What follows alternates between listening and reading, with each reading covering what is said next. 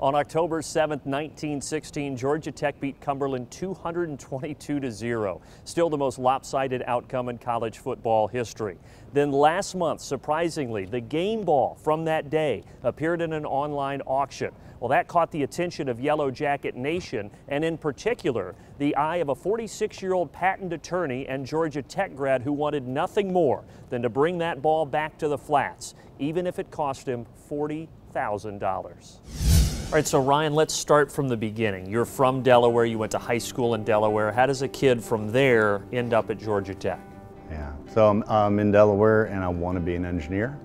Um, happens to be my father went to Tech, uh, came to visit Georgia Tech with my dad, fell in love. I knew it was the right place. But I think I read in that New York Times piece that you were aware of the Cumberland game before coming to Tech, weren't you?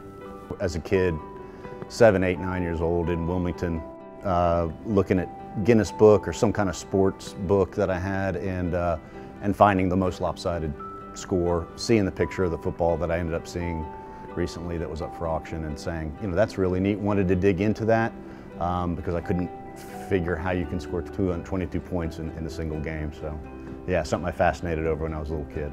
All right, so you've lived in Atlanta since being at Georgia Tech. So recently you're living in Atlanta. How do you find out about this auction?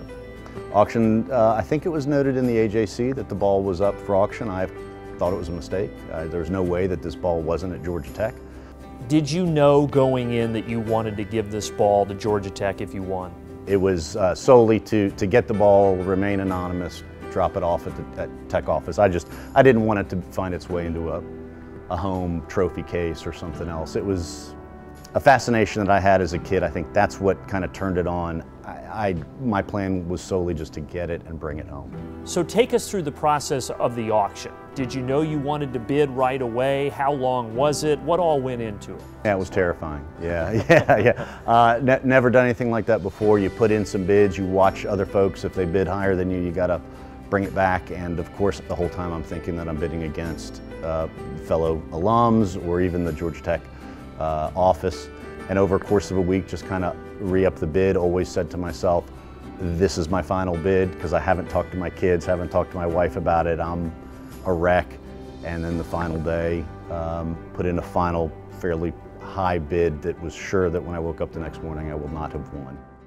And then you realize that you have won this ball. You spent a lot of money, but you won the ball. What was that moment like? Completely shocked. Shocked shocked at the at the final number and shocked that uh, that I had put in that bid. Since it was on the West Coast, the bidding didn't end until about 3 a.m. I think our time.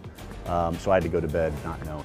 All right, so you found out that you won, but you're the only one at the time that knew about this. So when you informed your wife and kids, how did that go down? Kids love it. Uh, don't wife even. Hates it? wife, wife understands because I was a nut from the beginning. When she met me, she knew what she was getting involved with. But uh, yeah, uh, she just asked if I was happy, and I said I was.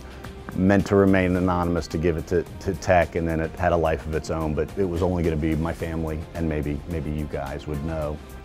It does have to be pretty cool to know that you were responsible for bringing this legendary piece of history back to Tech. But I know that you have said you didn't do this for attention. Uh, it's my 15 minutes were up a long time ago. It, it's it's not. I, I, never meant it to be this way. I spent some money on a piece of leather. It's it, it really isn't that big a deal to me. It is because of, of uh, you know my childhood. But there's so many folks in the development office and so much money coming into Georgia Tech in support. I feel like it's a very small piece, and yet it's been blown to this relatively large uh, uh, din, which is nice. I've been getting a lot of emails uh, and a lot of support from folks who are happy that it's home, so I'm happy.